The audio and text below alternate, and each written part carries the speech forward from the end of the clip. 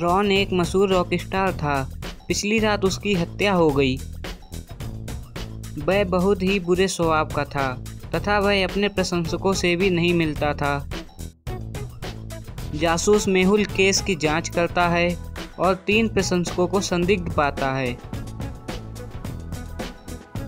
पहला प्रशंसक, सर रोहन किसी भी प्रशंसक से नहीं मिलता था। उसका यह ऑटोग्राफ मुझे उसके बॉडीगार्ड ने दिया है। दूसरा प्रशंसक, मुझे भी यह ऑटोग्राफ रोन के बॉडीगार्ड ने दिया है। तीसरा प्रशंसक, मेरे साथ भी यही हुआ है। मुझे भी यह ऑटोग्राफ रोन के बॉडीगार्ड ने दिया है। तीनों प्रशंसकों का बयान सुनने के बाद, क्या आप बता सकते हैं कि हत्यारा कौन है?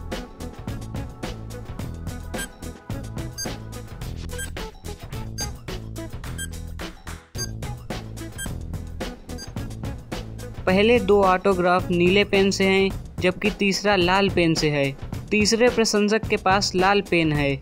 उसने रॉन से ऑटोग्राफ लिया, फिर उसकी हत्या कर दी। केविन और पीटर टीवी देख रहे थे। तभी अचानक बत्ती चली गई। दोनों एक दूसरे से लड़ने लगते हैं। उनकी मम्मी खाना बना रही थी। तभी उसको कुछ टूटने की आवाज़ सुनाई देती है। वह दौड़ती हुई बच्चों के कमरे में आती है। वहाँ उन्हें टूटा हुआ फ़ोटो फ्रेम दिखाई देता है।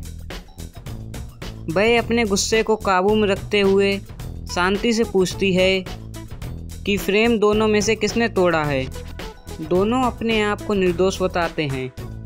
क्या आप बता सकते हैं कि फ्रेम किसने तोड़ा होगा?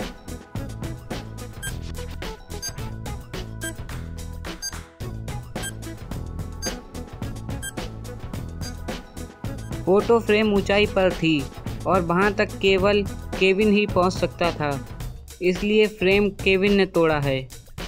गार्ड स्कूल में प्रिंसिपल का मृत शरीर पाता है, वह तुरंत जासूस मेहुल को बुलाता है। मेहुल आता है, मेहुल वहाँ तीन लोगों से पूछताछ करता है। नौकरानी, सर मैं लाइब्रेरी में काम कर रही थी, आप चाहें तो लाइब्रेरी के कैमरे में चेक कर सकते हैं। टीचर वन सर, मैं स्टाफ रूम में बैठकर उत्तर पुस्तिकाओं की जाँच कर रही थी। टीचर टू, सर, मेरा चश्मा टूट गया था। मैं नया चश्मा लेने बाज़ार गई थी। यह रहा बिल। घटनास्थल की जाँच करने के बाद और तीनों का बयान सुनने के बाद क्या आप बता सकते हैं कि हत्यारा कौन है?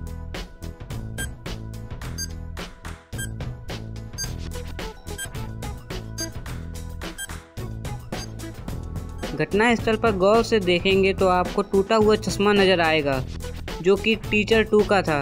इसलिए उसी ने हत्या की होगी।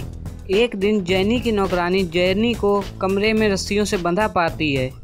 नौकरानी उसकी रस्सियाँ खोलती है। जैनी तुरंत जासूस मेहुल को बुलाती है। मेहुल घटना स्थल पर पहुँचता है। वहाँ जैनी उसे बताती है, उसके साथ क्या हुआ और चोरी कैसे हुई? चोर रात में आए थे, जब मैं सो रही थी। उन्होंने मुझे बिस्तर से खींचा और रस्सियों से बाँध दिया। उसके बाद मेरी ज्वेलरी और नगद लेकर फरार हो गए। क्या यह सच में चोरी थी? क्या आप घटना स्थल को देखकर बता सकते हैं कि यह सचमुच चोरी थी या जैनी झूठ बोल रही है?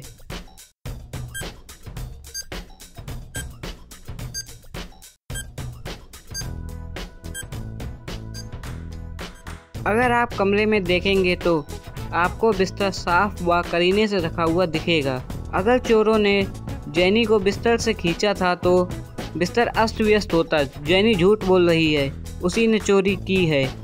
ऐसी ही मज़ेदार वीडियो के लिए वीडियो को लाइक करें और चैनल को सब्सक्राइब करें।